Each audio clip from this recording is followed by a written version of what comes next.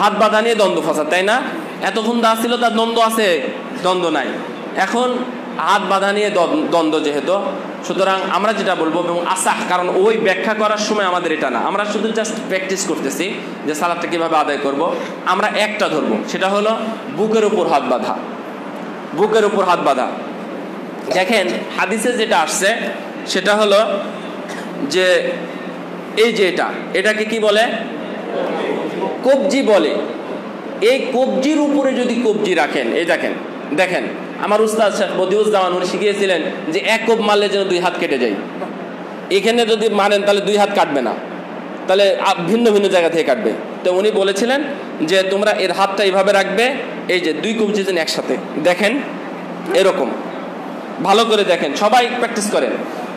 যারা নাভি নিচে হাত বাঁধেন, তাদের বিষয়টা ভিন্ন, কিন্তু আমি এখন বুকের উপরটা বলতেছি, এভাবে করবেন। তাহলে দেখেন আপনার হাতটা এই পর্যন্ত আসছে, তাই না? অর্থাৎ এই পর্যন্ত ঠেকেনি। এটা একটা। এটা, আর আরেকটা হচ্ছে সেই বুখারির যেটা হাদিস, যে রাজুল্লাহ সাল্লামকে দেখলাম যে উনি কাউয়া জেরার উপরে জেরা রাখলেন। জেরার উপরে জেরা বলতে কোনটা জানেন? দেখেন এটা আপনারা কোনোদিন আগে মাপেননি? জিনিসপাতি বা ইত্যাদি, জায়গা, জমি, আগে এটা দিয়ে মাপা হয়তো। তো এটাকে কি বলে? গজ বলে। জেরা শব্দের বাংলা অর্থ হচ্ছে, কেউ মাদ্রাসার ছাত্র আছো তোমরা? মাদ্রাসার ছাত্র তুমি? তুমি মাদ্রাসার ছাত্র? আচ্ছা তো এই জেরা মানে হচ্ছে গজ সো এই জেরার উপরে জেরা, দেখেন, এই যে, দেখেন, এটা হচ্ছে জেরার উপরে জেরা রাখা। প্র্যাকটিস করেন। হ্যাঁ বুকের উপর রাখেন। রাখেন, বুকের উপরে রাখেন। এরকম যেন না হয়। এরকম যেন না হয়। এইটা, এই যে, বুকের উপরে। বুকের উপরে এইভাবে, আমি প্রথমটা বলেছি এটা, এই যে, বুকের উপরে। আপনার হাত এইদিকে এদিক নামতে পারে নামুক কিন্তু এইটা ঠিক রেখে আপনি এভাবে করবেন। দুই না, দুই নম্বর বললাম, তাই না? এটা একটা এটা একটা। আর আরেকটা হলো কাফের উপরে কাফ, কিন্তু এর বর্ণনা সম্পর্কে অনেকেই এটাকে অগ্রহণযোগ্য বলেছেন। তবে শেখ আলবানী রাহিমাহুল্লাহ, উনি কাফের উপরে, কাফ রাখার উপরে, উনি এই অধ্যায়টাকেও সহি বলেছেন, শুধুমাত্র এটা। এই যে কাফ, এটাকে এটাকে কাফ বলা হয়। কাফুর মানে হচ্ছে তালু। তো এটার উপরে এটা এটা রাখলেও সর্বশেষ কথা হলো, এটা হলো সুন্নাত। এটা হলো কি? সুন্নাত। কারও যদি হেরফের হয়ে যায় এখানে বলব। কারও যদি হেরফের হয়ে যায়, তাহলে কারও উপর খবরদার হুকুম লাগাই দিবেন না। এই তোর সালাত হয়নি। ঠিক আছে? এই কথা খবরদার বলবেন না যে তোর হাত বাঁধা হয়নি বা ইত্যাদি। তাকে শিখিয়ে দেওয়ার চেষ্টা করেন, কৌশলে হোক অথবা অন্যভাবে হোক, শিখিয়ে দেওয়ার চেষ্টা করেন। হাসান হাসান হুসাইনের একটা গল্প আছে। গল্পটা আমি নিজে পেয়েছি আরবিতে, কিন্তু ওর সনদ পাইনি। সনদ। তো হাসান হুসাইন দুই ভাই একদিন দেখতেছেন একটা বৃদ্ধ মানুষ, সে অজু করতেছে, অজুতে ভুল। এখন দুইজন কীভাবে ঠিক করবেন? না, আপনারা কিছু কৌশল করতে পারেন, তাই বলতেছি আপনাদেরকে। তার অজু, বড় মানুষ কীভাবে অজু বলবে যে আপনার অজু হয়নি, ভুল? তখন ওনারা দুইজন গিয়ে বলতেছেন যে, চাচা, আপনি দেখবেন তো যে আমরা কে কত সুন্দর করে অজু করতে পারি? বুঝেননি কথা? তখন দুইজন প্রতিযোগিতা করে অজু করতেছেন, সুন্দর করে। তো ওনারা যে অজু করতেছেন, দুইজনের অজু একই রকম। কাঠটা সুন্দর আর কাঠটা কম সুন্দর হবে। দুইজনের অজুটাই সুন্দর। কিন্তু উনি দেখলেন, এটা হচ্ছে রাসুলের নাতি। আর এদের অজুতে ভুল হওয়ার কথা না। তার মানে আমি ভুলেছিলাম বুঝতে পারেননি? কোনোভাবে যদি কৌশল করে শেখানো যায়, আলহামদুলিল্লাহ, এটা অনেক ভালো। সো এভাবে হাত বাঁধেন, হাত বাঁধার নিয়মগুলো মনে রাখবেন, আমি দুইটা বলেছি। আর আরেকটা বললাম, ওটা অপশনাল জি। ধরা। হ্যাঁ ওইভাবে ধরতেও পারবেন। এই যে যখন আপনি এখানে রাখবেন তো, তখন এই যে ধরা বলতে ধরার কথা হাদিসে নাই। ঠিক আছে, হাদিসে নেই। কিন্তু যখন আপনি এই যে কবজির উপরে যখন কবজি রাখবেন, তখন আপনি হাত যদি সুন্দরভাবে রাখতে চান মানে পুষ্টভাবে রাখতে হবে। বুঝতে পেরেছেন? হ্যাঁ? শুধু ধরা? No no no no no আপনার রাখা এখানে। ওদা হাদিসের ভাষা হলো ওদা মানে রাখলেন, ধরার কথা নেই। এই যে আমি একসময় কিছুক্ষণ পরে যাব, এইটা, এটা হচ্ছে ধরতে হবে। রুকুতে যখন যাবেন, তখন এটাকে ধরতে হবে। আমসাক, ইমসাক মানে হচ্ছে ধরা, এখানে ধরলেন রাসুলাম এটাকে ধরতে হবে। এটা যেন অন্য না হয়। যাই হোক, এই, এরপরে আপনার পদ্ধতি শেষ। শুধু এই পুরুষরা ধরবে এইভাবে না মহিলারাও ধরতে পারবে? আচ্ছা সুন্দর সুন্দর প্রশ্ন। এখানে এখানে একটা বিষয় আছে। অনেকে প্রশ্ন করেন পুরুষ মহিলার সালাতের মধ্যে পার্থক্য কি? তো তখন প্রথম নিয়ে আসেন যে পুরুষেরা এখানে হাত বাঁধবে আর মহিলারা নাভির নিচে হাত বাঁধবে। তো ভাই এটা হাদিসের কথা না। এটা হাদিসের কথা না। এই বিষয়ে, এই সংক্রান্ত কোনো আলোচনা আমার নবী সাল্লাহ আলী আসাল্লাম আমার সাহাবিরা আউ বকর, উমার, উসমান, আলী, সাদ বিন আবি ওকাস জান্নাতি সাহাবি যারা ছিলেন, তারা কেউ এই আলোচনা করেননি। বরং তার বিপরীত কথা হলো, সল্লু কামার এই তুমুনি উসল্লি তোমরা সালাত আদায় করো সেইভাবে যেভাবে তোমরা আমাকে দেখেছ। সো নারী পুরুষের সালাতের কোনো পার্থক্য নেই। আমি যা বলতেছি, নারী এবং পুরুষ সবার জন্য এক। সবার জন্য এক, কোনো পার্থক্য নেই। শুধু পার্থক্য যেটা আছে, সেটা পদ্ধতিতে পার্থক্য নেই। সেটা তারা ওড়না পরে সালাত আদায় করতে হবে। আপনার ওড়না না হলেও চলবে। মানে কোনো কাপড় চুপড় প্রয়োজন নেই, কিন্তু তাদেরটা আবশ্যক। ঠিক আছে? আমরা যদি সালাতে ভুল করি ভুল করি, কি বলবেন? বলেন সুবাহান আল্লাহ তারা যদি সালাতে ভুল করে, এরকম করবে। ঠিক আছে?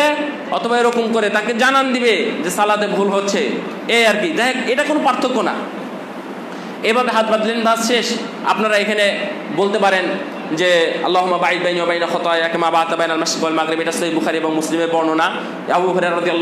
বলছেন আপনি এরভাবে হাত বাঁধার পরে কি করেন?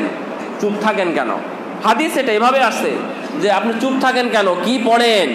তখন রাসূলুল্লাহ বললেন যে, আমি পড়ি বাইনি ওয়া শেষ পর্যন্ত এটা বললেন।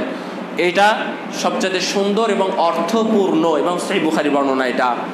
আর রসুল্লাহাল্লাম আইসারদি আল্লাহ আনহাকে শিখিয়ে দিয়েছিলেন, যখন তুমি সালাদ শুরু করবে, তখন তুমি পড়বে সুহানাক আল্লাহুম্মা বেহামদিকা তাবার আকাসমুকা ও তালা জাদ্দুকা। এটা তিরমিজিতে আসছে, ইবনু আসছে, এটা সহি, এটাও সহি বর্ণনা। তবে এটা বিশেষ সহি, আমি এটা পড়ি, দুইটাই পড়তে পারবেন আপনারা, ঠিক আছে? যে যেটা পড়েন, পড়বেন। তবে উত্তম হলো আল্লাহ বাইদ বাইন অবাইনা খতা এক মা বাতা জি।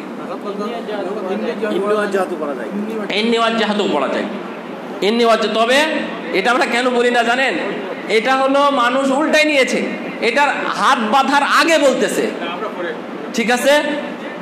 এ কমপ্লিট আপনি সোরা ফাতেহা পড়বেন, এরপরে কোনো সোরা পড়বেন। পুরো সোরা পড়ার পরে এই বিষয়ে যেহেতু আলোচনা লম্বা হবে, তা আমি ওই লম্বা আলোচনা করতে ঠিক আছে না? আমি জাস্ট কেফিয়াত শুধু পদ্ধতিটা। শেষ আমাদের দাঁড়িয়ে থাকা। এরপরে আবার আল্লাহ আকবার বলে, ওই আল্লাহ আকবার যেটা বলেছি, হাত তোলার যে নিয়ম, একই নিয়ম সব জায়গাতে। আল্লাহ আকবার বলে আপনি রুকুতে যাবেন। এখানে রফুলাইন করা নিয়ে স্বাভাবিক থাকবে, তবে এরকম থাকাটা উত্তম। এরকমই থাকবে। এরকমই রাখবেন। এটাই সুন্দর।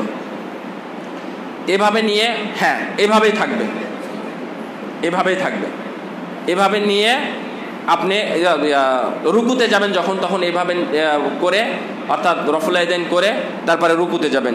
রুকুতে যাওয়ার ক্ষেত্রে আপনি একটু আমাদের দিকে, আমার দিকে তাকাবেন সবাই, একটু ভালো করে তাকান। আচ্ছা এভাবে না? আচ্ছা আমি করি একবার আগে, ঠিক আছে? করলেন, করার পরে রুকুতে যাবেন, এই যে এভাবে, আমার দিকে তাকান সুন্দর করে। সুন্দর করে তাকান আর আমি বলি, দেখেন আমার মাজা, পিঠ এবং মাথা সমান আছে কিনা? মাজা, পিঠ, মাথা সমান আছে কিনা? আপনারটাও এরকম সমান হতে হবে। আপনার হাতটা সোজা হতে হবে। একটু দেখেন, আমার হাতটা দুই হাতি সোজা আছে। জি। আচ্ছা।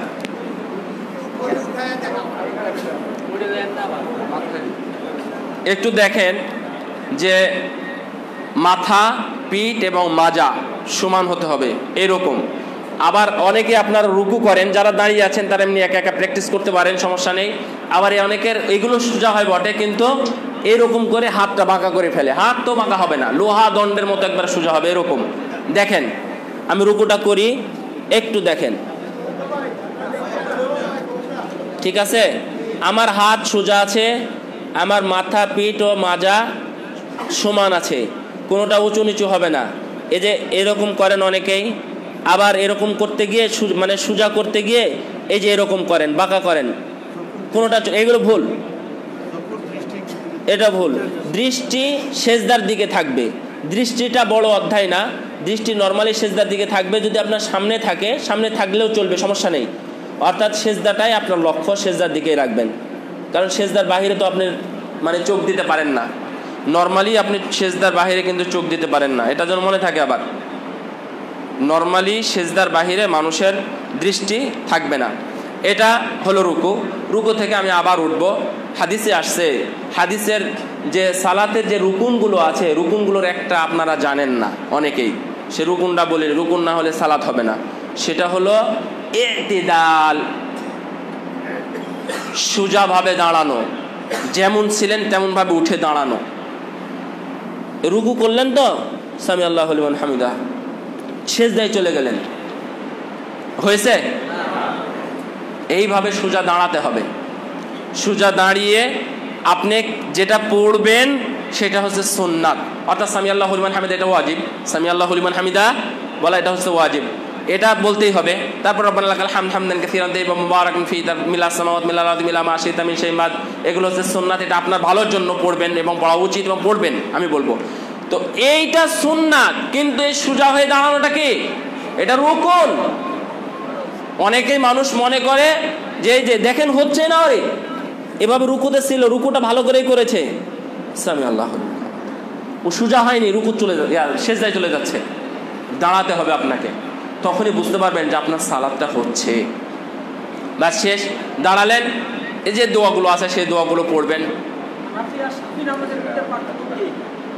এই ক্ষেত্রে এখানে এইখানে না না এই এই জায়গাতে, আমি যে জায়গাতে আসছি, এই জায়গাতে কোনো পার্থক্য নেই।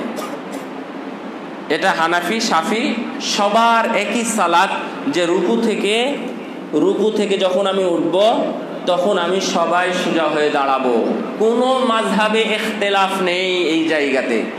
আমি এতক্ষণ যেটা বলেছি সেটা একটা ইখতলাফ পার হয়েছে। সেটা হলো কি? হাত বাঁধা। আর একটা দেন করা। কিন্তু সোজাভাবে দাঁড়ানো জি। এটা বলেছি। এগুলো না আমি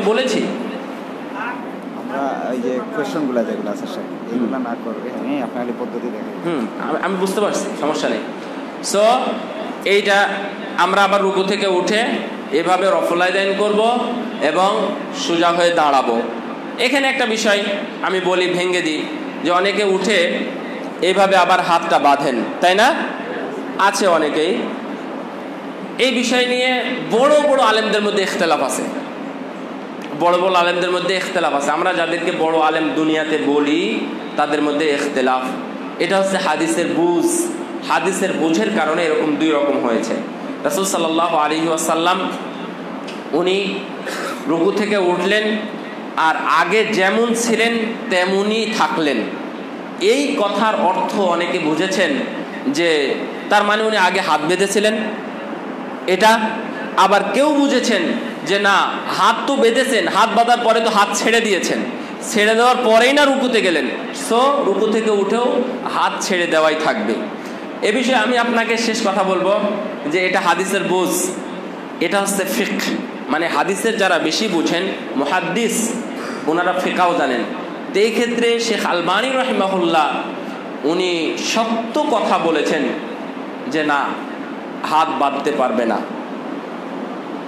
এবং উনি একটু বেশি করে বলেছেন, উনি বলেছেন যে হাত বাঁধাটা এটা হচ্ছে নতুন বেদাত। এটা রাসুলের যুগে ছিল না। আর আমিও আপনাকে যেটা বলব, সেটা হলো শেখ বিন বাজ রহিমাহুল্লাহ, উনি এই বিষয়টা খুব বেশি করে তুলে নিয়ে আসছেন। শেখ বিন বাজ, শেখ সালেহ হোসাইমিন শেখ সালে ফৌজান আল ফৌজান এখন যারা বড় বড় শেখ আসেন ছিলেন, ওনারা এই বিষয়গুলো বলেছেন এবং ওনারা বলছেন যে এখানে হাত বাঁধতে হবে। আর শেখ নাসিরুদ্দিন আলবানি বলছেন যে বাধা তো যাবেই না, বরং কেউ যদি বাঁধে তাহলে বেদাত হবে। তো আমি আপনাদেরকে বলব, চেষ্টা করবেন না বাঁধার। আর যদি কেউ বাঁধে, তাহলে আপনারা খবরদার আরেকজনের মতো বেদাত বলবেন না। জি। জি হ্যাঁ। আমি বলে দিয়েছি। বাদে আমি প্রথম কথা বলেছি। জি। হ্যাঁ আমি আমি তো মদিনারি মানুষ। আমি মদিনারি মানুষ। আমি মদিনার পক্ষে বলব, সমস্যা নেই। আমি বলেছি, না না, ঠিক আছে। আমি বলেছি, আমি কিন্তু বলে দিলাম। কি জন্য জানেন? যে উনি হলেন মহাদ্দিস। হাদিসের বুঝটা আমরা শেখ বিলবাজ এবং শেখুল শেখ- হুসাইমিনের চাইতে আমরা হাদিসের বুঝটা বেশি নিব আলবানির কাছে। হাদিস যেন কারণ উনি মহাদ্দিস। আর ইনারা হলেন মাসলা মাসাইলের উপর অনেক বেশি অভিজ্ঞ আলবানির চাইতে। মাসলা মাসাইলের ক্ষেত্রে আমরা নিব আলবানির চাইতে শেখ সালেম হুসাইমিনেরটা কিন্তু এখানে হাদিসের বুঝের ক্ষেত্রে যদি হাদিসের বুঝের দ্বন্দ্ব হয়েছে সেহেতু এখানে আমরা নিচ্ছি শেখ আলবানিরটা। আর আমি বললাম না যে কেউ যদি করে তাহলে তাকে ক্ষমতার কটাক্ষ করবে। যে অনেকে আছেন আমি হালি অবস্থা বলতেছি হাত ছেড়ে দেওয়ার কথা। অনেক বড় বড় বিদ্যান আছে বললাম ইখতলাফ আছে। সো আমি শেষের কথা বললাম। বাস শেষ আমরা এখন রুকুতে চলে যাব তাই না? আর কিছু আছে? রব্বানা লাকাল হামদ। যাতে যাব।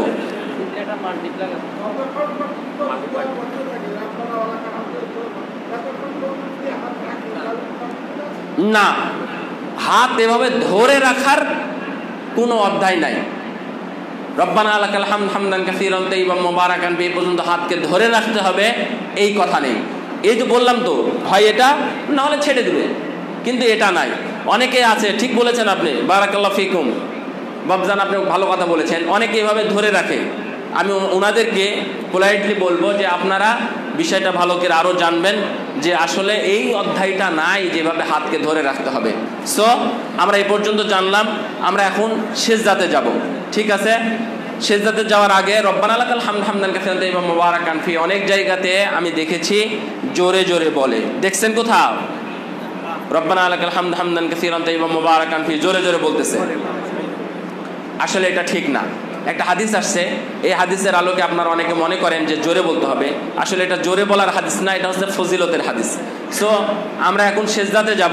শেষদাটা একটু ভালো করে দেখবেন যে আমি এদিক ঘুরে শেষদাটা দিই হ্যাঁ? আমার শেষদাটা একটু দেখেন। একটু জায়গা দেন। হুম সমস্যা নেই। না সমান আমি এইভাবে আগে দিব হ্যাঁ? একটু দেখেন। আল্লাহ আকবার। ও এখানে তো একটা কথা বলতে হয়। আগে হাত রাখা আগে হাঁটু রাখা। আমি আগে এভাবে হাঁটু দেব, না আগে হাত দেব। এভাবে হাত দেব। এ বিষয়টা নিয়েও কথা আছে। হ্যাঁ এ বিষয়টা নিয়েও কথা আছে।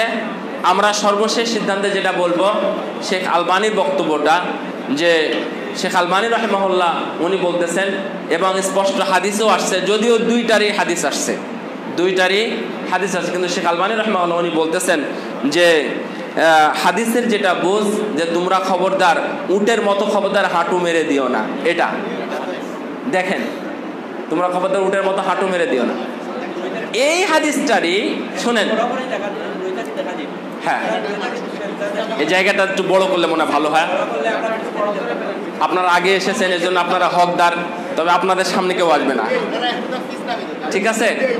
দেখেন, শেখ আলবানি বলছেন যে, তোমরা খবরদার উটের মতো এভাবে হাঁটু মেরো না, হাঁটু দিও না। আবার এই হাদিসটা মজার কথা, অনেক লম্বা আলোচনা আছে। আবার এই হাদিসই একই হাদিস নিয়ে, একই অনুবাদ দিয়ে বলতেছেন যে, তোমরা খবরদার উটের মতো আগে হাত দিও না। উট যে সামনে যেটা দেয়, সেটা উটের এটা হলো হাত। ওনারা বুঝেছেন। এটা মহাদ্দিস ওনারা না, মহাদ্দিস ওনারাও মহাদ্দিস। তো ওনারা বলছেন যে এটা হলো উটের, এটা হচ্ছে হাত। সো তোমরা উটের মতো হাত আগে দিও না। বুঝতে পারলেন? সো শেখ আলবানির শেষের বক্তব্যটা আমি বলব যে হাত রাখাটা। তবে উনি এইটাকে আবার বেদাত বলেননি। আগেরটা যেমন এখানে রাখাকে বেদাত বলেছিলেন, উনি এটাকে বেদাত বলেননি। আর সহিবুখারির স্পষ্ট হাদিস পাওয়া যায় যেটা বোঝা যায় যে হাঁটু দেওয়া যায়। ঠিক আছে? সো আপনারা দ্বন্দ্ব করবেন না। আর হাদিসের যেটা বেশি কাছাকাছি অর্থ, তা হলো আগে হাত দেওয়া। যেটা বেশি কাছাকাছি, আসাহ, বেশি সহি যেটা, সেটা হলো হাত দেওয়া। এবং হাত দেওয়ার আরেকটা কারণ আছে, সেটা হলো বেশি নমনীয়তা প্রকাশ পায়, যেটাকে আরবিতে বলে খুশুর ওয়াল খুদু। খুশুর ওয়াল খুদু এর অর্থ হচ্ছে বেশি নমনীয়তা প্রকাশ করা। দেখেন আমি হাঁটুটা দিচ্ছি এই যে, আমার মাথা এখনও নিচু হয়নি। ঠিক আছে? এটা হচ্ছে হাঁটু দেওয়া। আর যদি আপনি হাত দেন, তাহলে আপনার আগে মাথাটা নিচু হবে। ব্যাস, এভাবে আপনি সেজদা করবেন। আমি সেজদাটা দেখাই সরাসরি। আপনারা একটু দেখেন। আমি যদি আমি যদি আপনাদের দুই একজনকে সেজদা করতে লাগাই তাহলে আমি দেখব যে আপনারা অনেকে ভুল করছেন। আমি যতক্ষণ না বলব। আমার হাতটা কোথায় আছে দেখতে পাচ্ছেন? আমরা অনেকে সেজদা করি। দেখেন, ইবনু মাজাতে আবু দাউদে একটা হাদিস আসছে যে, কোথায়? সুজুদ কোথায় আমরা হাত রাখব সেজদার সময়? আমরা অনেকে সেজদা দিই, ভুল। দেখেন এটা ভুল। এটা একটু দেখেন। এটা হচ্ছে ভুল। এখানে না, আমার হাতটা এবার দেখেন ঠিক জায়গা রাখতেছি, এই যে। সেজদাটা একটু আগায় যাবে। আমার হাতটা এই কাঁধ কান পার হবে না।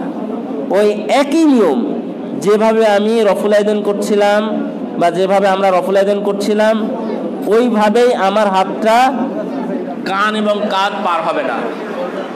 আমি এইটা বেশ কয়েকদিন থেকে আমি বলতেছি। আমি বেশ কয়েকদিন থেকে আমি এটা বলতেছি। হ্যাঁ।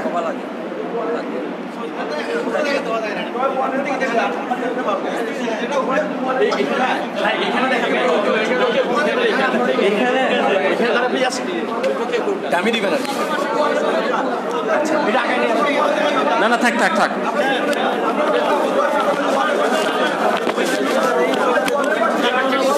দেখালে পুরো দেখা যাবে নাকটা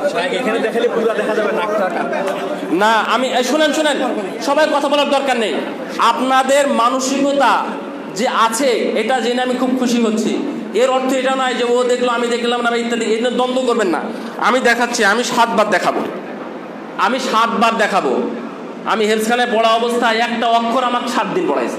এখনও হেলসখানে আপনি যান, শুধু উনত্রিশটা হরফ পড়াতে আপনাকে হয়তো এক মাসও লাগতে পারে, অথবা পাঁচ দিন, সাত দিন লাগতে পারে। এক উনত্রিশটা হরফ। সো আপনি, আপনি- আপনাকে আমি সাতবার বলতে আমার সমস্যা নেই। আমি বলেছি যে হাতটা আমরা যেভাবে রাখি, দেখেন ভুল পদ্ধতিটা। দেখেন, আমি দেখাই। এটা হচ্ছে ভুল পদ্ধতি যে দুই হাতের মাঝখানে আমি সেজদা দিয়েছি। এটা ভুল। ঠিকটা হলো এই যে এটা। এই যে এইভাবে। অর্থাৎ আমার ঘাটটা পার হবে না। ঘাড় পার হবে, ঘাড় পর্যন্ত এবং কাঁধটা, কান কান যেটা, এই যে কান, এই কানটা পার হবে না আমার হাতটা। এই হাতটা। আমার সেজদাটা যে এরকম হবে হাতটা এখানে থাকবে। আমি ম্যাক্সিমাম না আমি এক মসজিদে গিয়ে দেখেছি যে তারা সবাই সেজদাতে ভুল করেছে। তারা সবাই সেজদাতে ভুল করেছে। তো অথচ সেজদা ঠিক না সে সালাত আদায় করতেছে সারা জীবন ষাট বছর থেকে সালাত আদায় করে। একজনকে আমি লক্ষ্য করেছি। না যাওয়ার সময় আগে নাক আগে। এরকম? হ্যাঁ। ঠিক বলেছেন। বা এভাবে আপনারা ফুটখাট প্রশ্ন করে ইয়া করবেন। এই যে দেখেন এরকম ভাবে আগে হাত, তারপরে নাক, তারপরে কপাল। উঠানোর সময় আগে কপাল, তারপরে নাক, তারপরে হাত। আচ্ছা সুন্দর কথা, আরেকটা বলেছি। আমি এটা বলিনি কিন্তু, হাত কীভাবে রাখব? হাত তাওসিল করে রাখতে হবে। তাওসিল মানে হচ্ছে মিলানো। দেখেন, এভাবে হাত রাখলে আমি এবার দেখাই। এভাবে যদি হাত রাখা যায়, মিলানো যায়, তাহলে এই জায়গাটা একটু ফাঁকার মতো হবে। সেজদা দেন। দেন দেন, সেজদা দেন। আপনার সেজদা হয়নি। ব্যাস। এটা মিলানো থাকবে, তার মানে দেখবেন এমনিতে এখানে ফাঁকা হয়ে যাবে। এই জায়গাটা।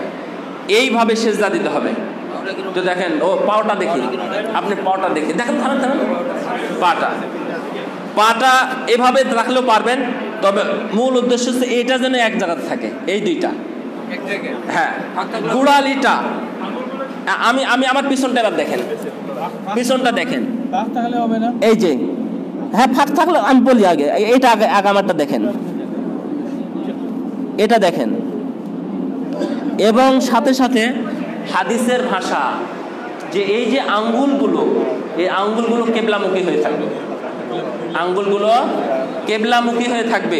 আবার দেখেন এই যে যতদূর পারা যায় আপনার আঙ্গুলগুলো কেবলামুখী রাখবেন। উঠবেন তাই না? দেখেন দেখতে পাচ্ছেন? সবাই দেখতে পাবেন না আমি জানি কারণ বসে করতেছি এ কি পারবে?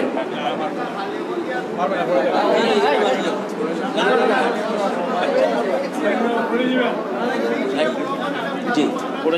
না না পড়ব না ইনশাল্লাহ এই যে দেখেন এই যে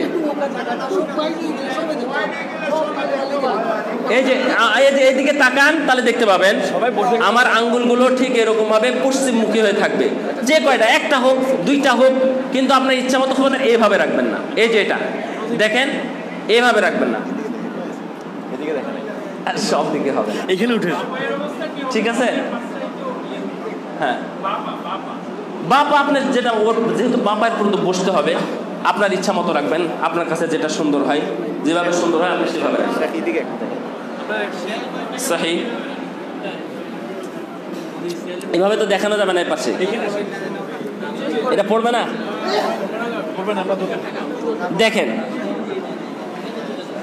এই যে এটা। ব্যাস। এইভাবে দেখতে হবে বসতে হবে। আঙ্গুলগুলো যেন এই পাশে এভাবে ভেঙে থাকে এবং কেবলামুখী হয়ে থাকে। এটা হচ্ছে আপনার উদ্দেশ্য। সবাই সবগুলোই আল্লামুখী হবে এবং কেবলামুখী হবে। সব বৈঠকে। আমি কেবল এক রাকাত সালাত আদায় করলাম, তাই না? আমরা আমরা শেষ বৈঠক পর্যন্ত যাব। হ্যাঁ। জি জি জি। আমাদের এক এক রেখা সালাতের দুইটা সেজদা হয়ে গেল। আমরা আবার উঠবো, তাই না? দ্বিতীয় রাকাতে দ্বিতীয় রাকাতে ওঠার সময় আমরা এখানে এভাবে বসছিলাম। বসার পরে যে সেজদা থেকে উঠে দেখেন একটু লক্ষ্য করেন। সেজদা থেকে উঠে, আমি এইভাবে সেজদা দিছিলাম, সেজদা থেকে উঠে এইভাবেই আমি উঠব নাকি আমার জন্য আরও কিছু করণীয় আছে? সেজদা থেকে উঠে, এটা হচ্ছে দুই নম্বর সেজদা, এটা দুই নম্বর সেজদা। দুই নম্বর সেজদা থেকে আমি উঠব। উঠার পরে আমি এভাবে উঠব। আবার দেখাই। দুই নম্বর সেজদা দিলাম তো আমি। এটা হচ্ছে আমার দুই নম্বর সেজদা, দেখেন। দুই নম্বর সেজদা দিলাম, দুই নম্বর সেজদা থেকে আমি উঠলাম।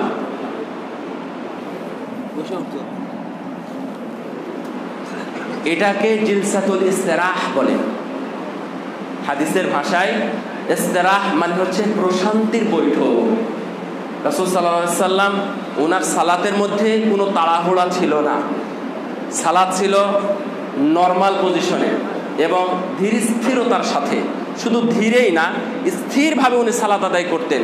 কারণ আমরা হাদিসে পেয়েছি যে রসুল্লাহাম বলছেন যে মানে যেখানকার হাড়, সেইখানে যা পৌঁছবে যেখানকার রক সেইখানে গিয়ে পৌঁছবে যেমন রুকু থেকে উঠে, রুকু থেকে উঠে হাত বাঁধার কথা যেখানে বলছিলাম, তো হাত বাঁধলে আমার হাড়গুলো জায়গা মতো পৌঁছলো না। যদি হাত না বাঁধি তাহলে মূলত পৌঁছলো এই যে ঠিকভাবে পৌঁছে গেল। এরপরে সেজদা থেকে যখন আমি উঠব সেজদা থেকে উঠে আমি আগে কি ছিলাম? বসেছিলাম না? বসেছিলাম সেজদা থেকে উঠে আমি আবার এভাবে বসবো। বসার পরে স্থিরভাবে তারপরে গিয়ে আমি ভিন্নভাবে দাঁড়াবো। সেজদা থেকে উঠতে হবে এটা না। সেজদা থেকে বসবেন বসার পরে গা আপনি উঠবেন এইভাবে। আর হ্যাঁ? বলব। এইভাবে আপনি সরাসরি উঠবেন না। না উঠে বসবেন, তারপরে উঠবেন। এখন এখন আপনারা আমাদের সমাজে বা বিভিন্ন দেশে, বিভিন্ন জায়গাতে দেখেছেন যে তারা সেজদা এভাবে দিল, দুই নম্বর সেজদা। দুই নম্বর সেজদা থেকে আল্লাহ আকবর বলে এভাবে উঠে যাই এভাবে উঠা যাবে কিনা? এইভাবে উঠা যাবে, ওইভাবে। যেইভাবে সেজদাতে যাওয়ার কথা বলেছি আগে। সেজদাতে আপনি হাঁটুও দিতে পারবেন, হাতও দিতে পারবেন। আমার কথা কি স্পষ্ট হয়েছিল তখন? বুঝতে পেরেছিলেন? আমি বলেছিলাম, তবে আপনারা হাত দিয়েই সেজদাতে যাবেন। হাত দিয়ে সেজদাতে যাবেন, হাদিসের বুঝটা এটাই বেশি ভালো। রুকু থেকে কি, সেজদা থেকে দ্বিতীয় রাকাতে যখন আমি উঠব তৃতীয় রাকাত, দ্বিতীয় রাকাত অথবা চতুর্থ রাকাতে, রাকাতের জন্য যখন উঠব, তখন আমি কি বসে পড়ব, নাকি আমি একবারে উঠে যাব? আমি বললাম কি? কি বলেছি আপনি আপনাদের? বসে তারপর উঠবেন। এখন প্রশ্ন হলো যে অনেকে যেমনটা করে এই বিষয়েও হাদিস আসছে। এই বিষয়ে হাদিস আসছে। তবে হাদিসের বিভিন্ন কিছু নেই। হাদিসের এক নম্বর হলো, ইতমেনান নেই। অর্থাৎ হাদিসের মধ্যে যে এতেদাল ধীর স্থিরতা, সালাতের মধ্যে খুজু এই জিনিসটা সালাতের মধ্যে ওখানে নেই। এবং হাদিসের বুঝটাও এটা। শেখ আলবানী রহমুল্লাহ যেটা বুঝ, আমি বলছিলাম যে একই বুঝ, ওইটা এবং এটা একই জিনিস, উঠা এবং বসা। যে হাতের উপরে ভদ দিয়ে উঠতে হবে। হাতের উপরে ভদ দিয়ে উঠতে হবে এবং জালসা জিলসা ইস্তেরাহা। তো এই বিষয়ে আলোচনা আছে লম্বা। আমি আপনাদেরকে যদি কেউ ওরকম থাকতেন আবুল কালাম ভাই আছে, অনেকের সাথে আমার ইয়া ভাই, যোগাযোগ হয় আমি লিঙ্ক দিতে পারব। লম্বা আলোচনা আছে। আহমদ ইবনু তাইমিয়া কি আস্তাফরুল্লাহ ইমাম আহমদ বিন হাম্বল, রহিমাহুল্লাহ, দেখেন, শুনেন। আহমদ বিন হাম্বল, রহম, রহিমাহুল্লাহ, উনি বলতেছেন যে এই জিলসা ইস্তেরাহা, এটা হচ্ছে রাসুলসাল্লামের একটি সন্না উনি সেজদা থেকে উঠে বসেছেন, বসার পরে উনি উঠেছেন। এই কথার বিরোধিতা করেছেন কেউ কেউ। যেমন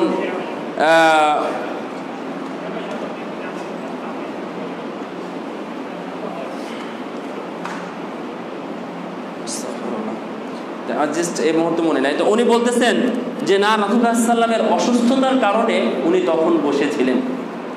রাসুল্লাহ সাল্লামের অসুস্থতার কারণে উনি সেজদা থেকে উঠে তারপরে আরামে উঠেছিলেন।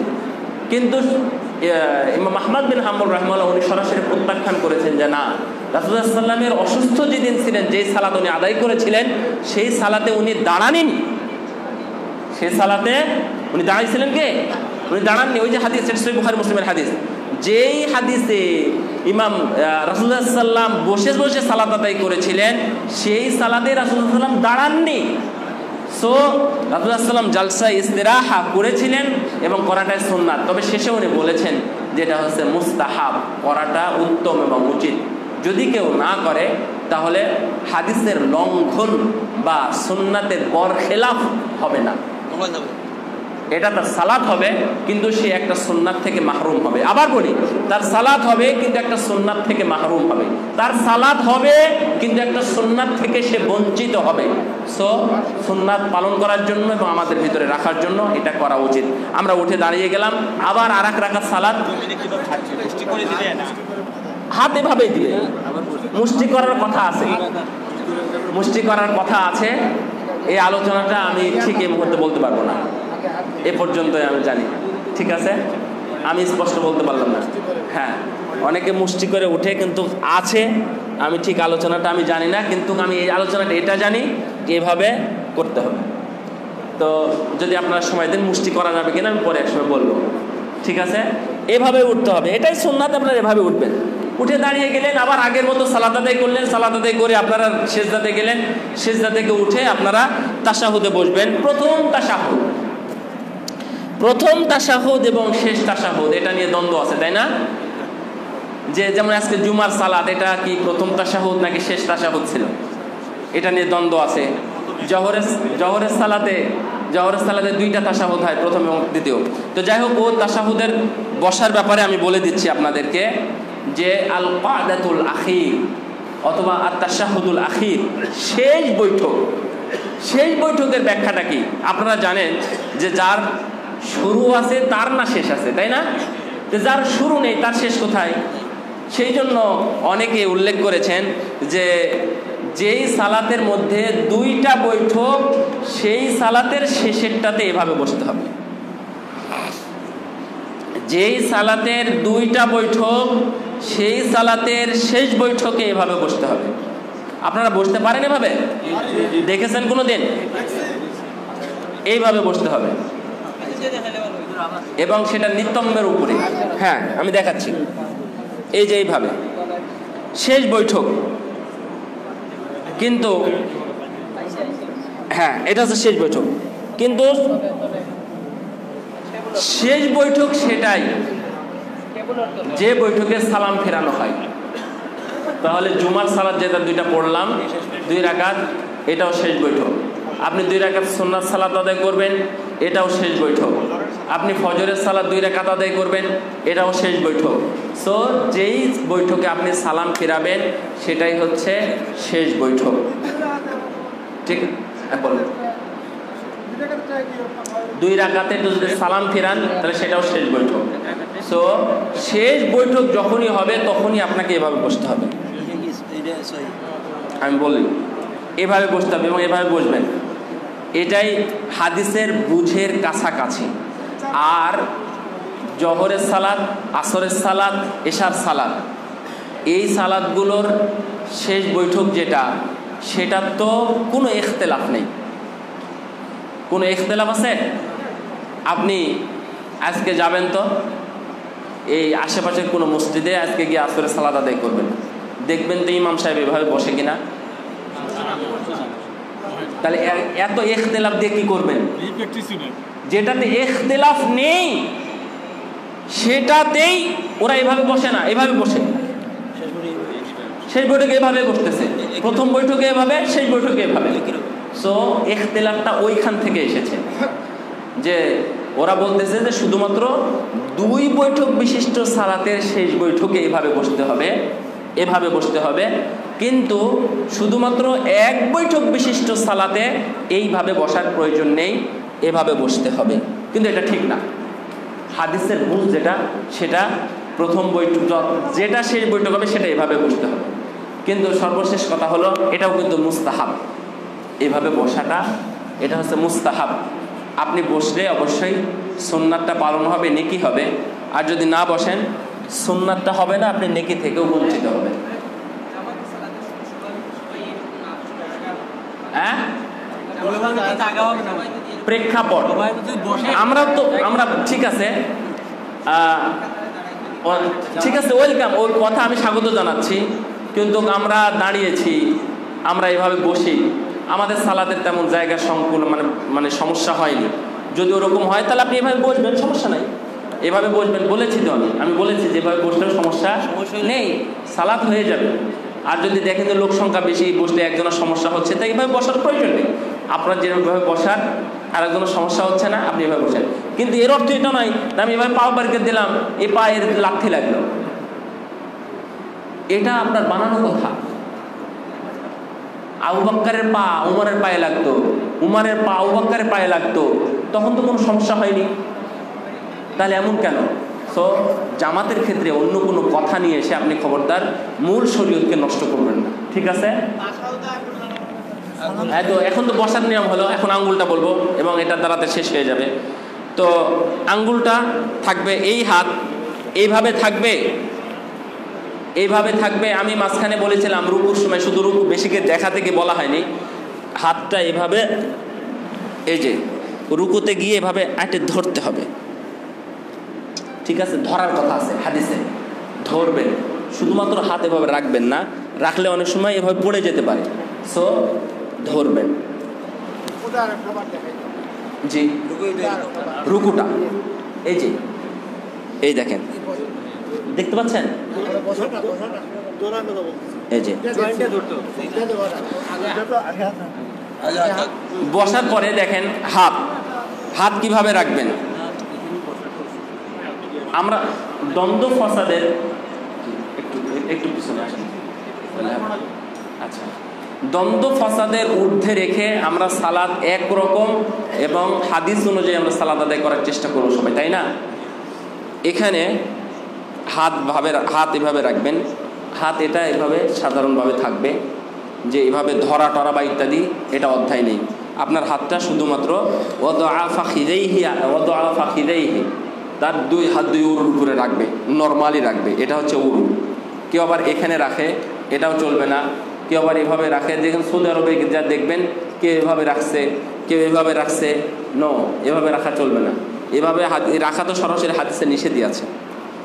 রাখবেন, কিন্তু যখন তাশাহুদ পড়বেন, তাশাহুদ তাহিয়াতুল্লাহ সালাম এবার যখন পড়বেন, তখন আপনার হাতটা এই যে, এক, দুই, তিন, চার, পাঁচ, ছয়, কয়টা আছে এখানে গিরা? কয়টা আছে? বিশ। আবার যদি গুনেন তাহলে কয়টা হবে? চল্লিশ না? আচ্ছা আবার যদি গুনেন তাহলে ষাটটা হবে। তবে ষাট থেকে আপনি বাদ দেন এই চারটা। কত? তাহলে কত থাকল?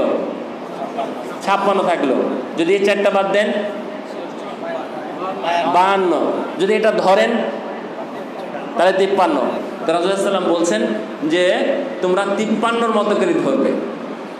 তার মানে তিন আঙ্গুল, এখানে কেন জানেন তিপ্পান্ন হয়েছে? এক, বিশ, দুই, বিশ, তিন, বিশ। ষাট হচ্ছে না? তাহলে এটার থেকে এখানে এসে ধরবে। তাহলে তিন বিশের এগুলো কম। তিন বিশের এগুলো কম। তার মানে এইখানে আপনার আঙ্গুলটা থাকবে হচ্ছে এখানে। দেখেন, এখানে থাকবে। আপনার হাতটা এভাবে থাকবে। এটা ছেঁড়া থাকবে। এটা ছেড়ে দিয়ে থাকবেন। ছেড়ে দিয়ে অথবা আপনি এইভাবে মুষ্টিবদ্ধ করে নেবেন। এইভাবে। পুরো আঙ্গুলটা আপনি ধরে নেবেন, এটা তখন বান্ন হবে, এটা তিপ্পান্ন হবে না। দুইটা হাদিস আসছে। বান্ন হবে মানে এটা তখন ধরবেন। তিপ্পান্ন মানে এখানে আঙ্গুল রাখবেন। বান্ন মানে এটা ধরবেন, আর তিপ্পান্ন মানে এখানে আঙ্গুলটা রাখবেন। বৃদ্ধাঙ্গুলিটা, যেটাকে আমরা বড় আঙ্গুল বলি, বৃদ্ধাঙ্গুলিটা এই তর্জনী আঙ্গুলের নিচের শেষেরটাতে রাখবেন।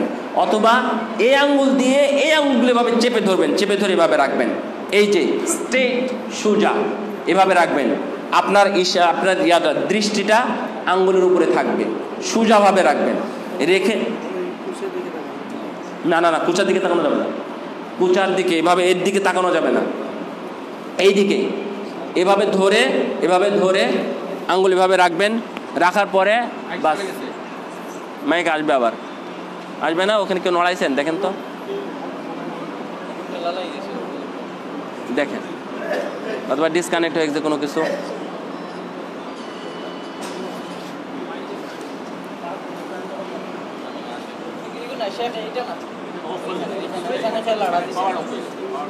পাওয়ার অফ অন হয়ে গেছে। দেখেন কোথায় পাওয়ার আছে? আচ্ছা, আমাদের আলোচনাও শেষ। সমস্যা নেই।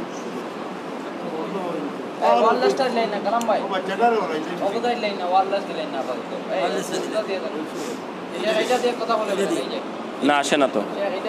আসতেছে, এটা তো আসতেছে। এটা তো আসবে না, একই জিনিস তো।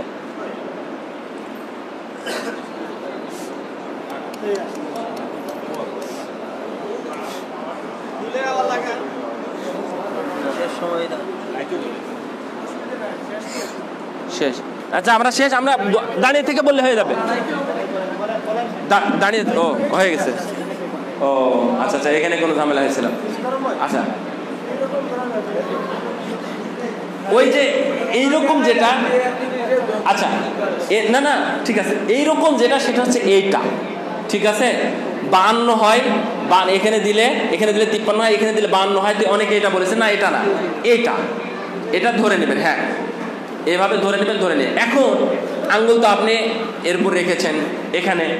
তো এখানে রেখে সুজাই রাখতে হবে নাকি পাকাও করা যাবে? না থামেন সোজা রাখতে হবে। এখানে রেখে আপনার আঙ্গুলটা নড়তে থাকবে। আমি প্রথমে যেটা বলেছি আমরা অন্য কিছুর ঊর্ধ্বে রেখে ঊর্ধ্বে থেকে কোরআন সুন্নার দৃষ্টিতে আমরা সহি সালাদটা আল্লাহকে দিতে চাই তাই না? এবং এই সালাদটা জান্নাতের কারণ।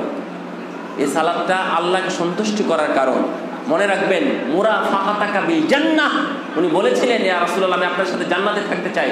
উনি বলেছিলেন ফাআইনি আলা কাতরাতে সুজুদ। বেশি করে সেজদা দাও। দিনে সতেরো টাকা সালাত আদায় করলে চৌত্রিশটা সেজদা হয়। যদি আপনি বারোটা পড়েন, বারো টাকা সালাত আদায় করেন, তাহলে চব্বিশটা সালাদ বাড়বে। চব্বিশটা সালাদ চব্বিশ টাকার চব্বিশটা সেজদা এবং চৌত্রিশটা সেজদা, এই প্রায় আটান্নটা সেজদা। এই সেজদাগুলো যদি আপনি প্রতিদিন পড়েন, যদি দুই রাকাত করে আপনি বেশি সালাত আদায় করেন, যদি দুই রাকাত করে আপনি তাহাজ্জত পড়েন, যদি দুই রাকাত করে আপনি যদি ইশরাকের সালাত আদায় করেন, এই যে সেজদা বাড়বে প্রতিদিন এবং প্রতি সপ্তাহ, প্রতি মাস দেখবেন যে আপনার লক্ষ লক্ষ সেজদা হয়েছে। এর বিনিময়ে আপনি জান্নাতে যেতে পারবেন ভাই এবং রাসুলের সাথে আপনি থাকতে পারবেন। বললেন, তুমি যদি আমার আমার যদি বেশি সেজদা করে আমাকে সহযোগিতা করো, তাহলে তুমি জান্নাতে আমার সাথে থাকতে পারবে। সো সহিভাবে আমরা উপস্থাপন করতে চাই। মন খারাপ করবেন না। এইভাবে আঙ্গুল রেখে নড়াতে হবে। এই যে, আমার দিকে তাকান। আঙ্গুল আস্তে আস্তে নড়াতে থাকবে। দৃষ্টি এখানেই থাকবে। নাসাইতে একটি হাদিস আসছে অগ্রহণযোগ্য সূত্রে অর্থাৎ গ্রহণযোগ্য না হাদিসটা। তবে এরপরেও মানে শেখেরা এবং আহ, উলামাগণ মুহাদ্দিসগণ বলে দিয়েছেন এবং বলে দিয়েছেন হাদিসটা সহিনা যে যখন এভাবে করা হয় তখন শয়তান আঘাত পায়। কিন্তু হাদিস হিসাবে হাদিস জয়ীফ হলেও কথাটা সত্য শয়তান এটা দেখে তার অন্তর্জালা বেড়ে যায়। কারণ সেটা শুধুমাত্র আল্লাহর জন্য নড়াচ্ছে। শুধু আল্লাহর নির্দেশ রাসুলামের নির্দেশনা এই জন্য আমি এভাবে নড়াচ্ছি। আইসা রদি আল্লাহ আনহা বলছেন যে কানা ইউশিরুন নবী সাল্লাল্লাহু আলাইহি ওয়াসাল্লাম। রাসূলুল্লাহ এইভাবেই তাশাহুদে বসে উনি এভাবে নড়াতে থাকতেন এভাবেই নড়াতে থাকতেন।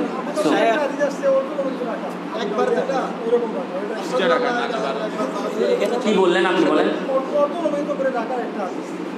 এভাবে রাখা। মানে নড়াবে না। হাদিস জয়ীফ। অর্ধনমিত থামেন। ওই হাদিসটা যেটা আসছে তো ওই হাদিসটা জয়ীফ। কিন্তু হাদিসটা এই নড়ানো এই একটাই হাদিস সহি। শেখ আলমানি রহমাল্লাহ বলছেন এই একটাই হাদিস। কারণ এই হার্রিক উনি এভাবে নড়াতেন। এইভাবে নড়াতে হবে। অনেকেই ডক্টর ইমাম হোসেন বলছিলেন হ্যাঁ। এটা আঙ্গুলটা হচ্ছে দোয়ার সময় উঠে আমার নামে। হ্যাঁ। আল্লাহ সাল্লি আল্লাহ মোহাম্মদ আল্লাহ বারেক আল্লাহ মোহাম্মদ। হ্যাঁ। এরকম দোয়ার সময় জাস্ট এটা মাথাটা উঠে। এটা আমি ওই যে ডক্টর ইমাম হোসেন সাহেব হ্যাঁ। উনি একটা সালাতে প্রশিক্ষণে দেখাইছেন আমি জানি না। মানে খুব কন্টিনিউ থেকে শুরু হবে। মানে প্রথম থেকে একদম beginning, আত্মাহিয়াতুল করা শুরু থেকে আত্মাহিয়াত থেকে শুরু হবে। সালাম ফিরানো সালাম আগ পর্যন্ত। সালাম ফেরানোর আগ পর্যন্ত। দোয়ার সময় শুধু উঠে এটা কি ঠিক? দোয়া বলতে আমি তো দোয়া তো পড়তেই আছি। উনি উনি বলছেন যে কি, শুধুমাত্র আল্লাহর নাম যখন আসবে। আমি জানি না, থাকতে পারে, আল্লাহ আলাম, আমি জানি না। আমি, আমার, ঠিক আছে, আমার কাছে যে এলএম ছিল, আমি বিতরণ করলাম। তো এই এলএমটার যদি আরও বৃদ্ধি থাকে, সবই যে আমার জানা থাকবে এটা নয়। উনি বললেন যে ডক্টর ইমাম হোসেন নাকি, উনি বলছেন যে শুধুমাত্র আল্লাহর নাম যখন বলবে, তখন আসাদু আল্লাহ ইলাহা ইল্লাল্লাহ অথবা আল্লাহ সাল্লি আল মোহাম্মদ আল্লাহ বারিক আল মোহাম্মদ, এরকম। উনি বলতেছেন, জাস্ট আমি জানি না এবং আমি নিজে পড়িনি আর কি এরকম। তো আমি আইসারাদ আল্লাহ তালা হাদিস বললাম, হাদিসটা নাসাইতে আসছে, ইবনু মাজাদে আসছে, হাদিস সহিহ মুসনাদ আহমদের মধ্যে আসছে, যে রাসূলুল্লাহ উনি কানা ইউহাররিক ওয়া ইউশির, উনি এভাবে ইশারা করতেন এবং নড়াতেন এবং সালাতের শেষ পর্যন্ত। যখন উনি তাশাহুদ করতেন তো তাশাহুদ মানে হচ্ছে ফার্স্ট টু লাস্ট তাশাহুদ মানে শুধু এটা নয় যে আশহাদু আল্লাহ ইলাহা ইল্লাল্লাহ। যে এই তাসাহুদের অর্থ বেদাতিরা যেমন করেছে বা অন্য- অন্যরা করেছে, যে তাসাহুদ মানে হচ্ছে আসাদু আল্লাহ ইলাহা ইল্লাল্লাহ। না, এটা না, এই অর্থ কোনো মহাদেশ করেননি। সো আমি আপনাকে যেটা বলব, আমি যেটা জানি, অর্থাৎ আমি সহি হাদিসের দৃষ্টিতে আমি যেটা বলতেছি, যে যতক্ষণ আপনি তার সাথে থাকবেন, ততক্ষণ আপনি বলবেন আত্তাহিয়াতুলিল্লাহ সালাওয়াত আসসালামু আলাইকা ইহান নবী রহমতুল্লাহ নর্মালি নর্মালি নড়াবে এর কারণে যেন অন্যের দৃষ্টি এদিকে না পড়ে বা সমস্যা না হয়। ঠিক আছে?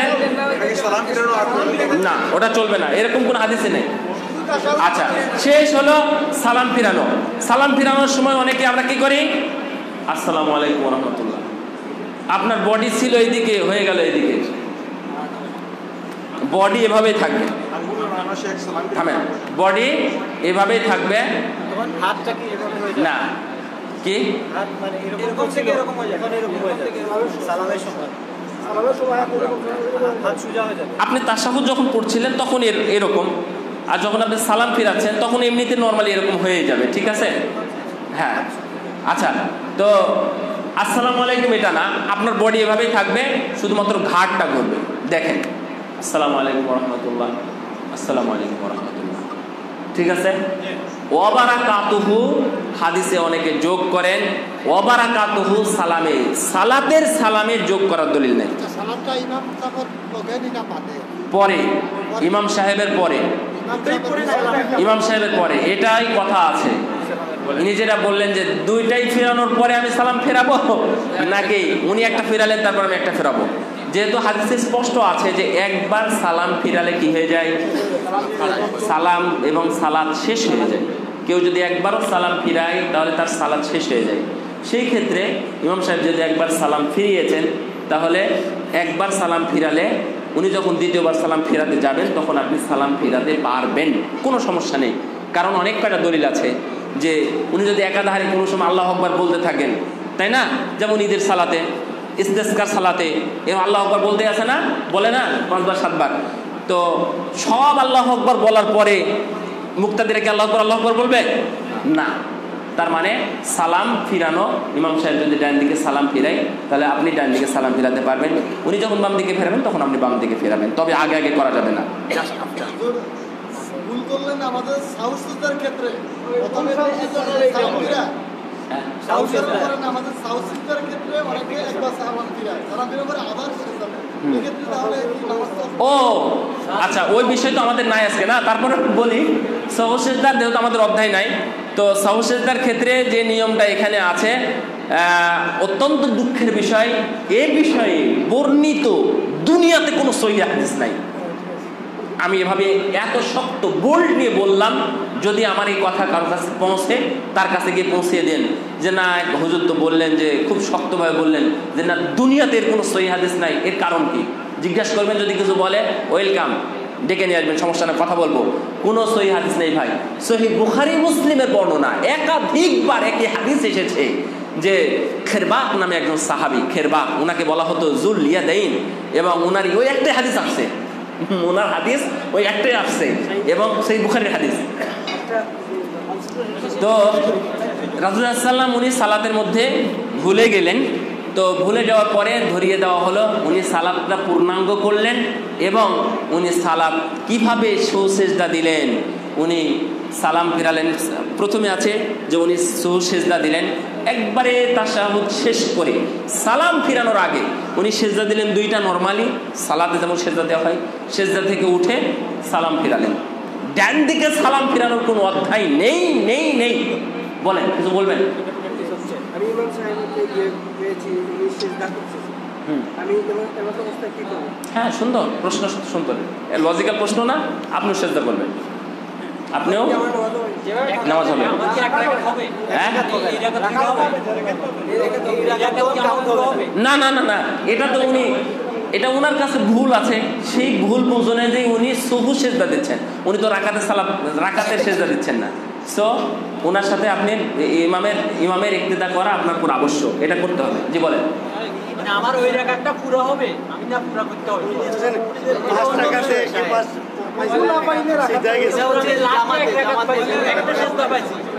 জামাতে তখন কি আমার ওই এটা পুরো করতে হবে না আমার পু- এক রাকাত ধরে নিব যে আমি পাইছি।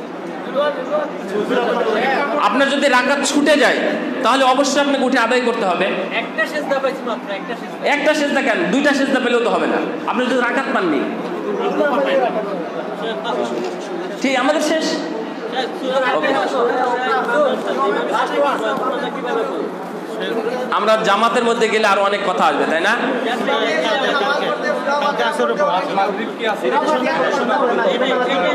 আমাদের কাইফিয়াতটা আপনারা মনে রাখেন হ্যাঁ? আমরা কীভাবে দাঁড়ালাম, কীভাবে সেজদা করলাম, কীভাবে রুকু করলাম, এবং কীভাবে রফুল আদান করলাম, সেজদার সময় কোথায় হাত ছিল এই বিষয়গুলো আপনারা লক্ষ্য রাখবেন, এবং আজ থেকেই এটা প্র্যাকটিক্যাল করবেন। আমি যদি মসজিদে আসি আসরে আজকে না আসি, আগামীকাল আসব, এসে দেখব যে আপনারা করতেছেন কিনা, ইনশাআল্লাহ। বারাকাল্লাহ ফিকুম ওয়া জাযাকুমুল্লাহু খাইরা ওয়া সাল্লাল্লাহু আলা নবিয়িনা মুহাম্মদ আসসালামু আলাইকুম